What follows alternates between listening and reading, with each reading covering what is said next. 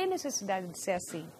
Sabe, nós temos lei, nós vivemos em sociedade, nós somos civilizados, tem maneiras da gente resolver. Então, vocês tomem cuidado pelo futuro dos outros e de vocês mesmos. Tamanho de São Paulo, se teu filho sumir, aonde você vai procurar? Verdade. Então, esse, essa é uma grande preocupação. Se você pelo menos tiver uma, uma ideia do paradeiro, né? Porque você faz a ronda, né? Hum. Você não vai num lugar só. A gente até entende que faz parte da idade e tal, mas consideração, pense nisso, tá?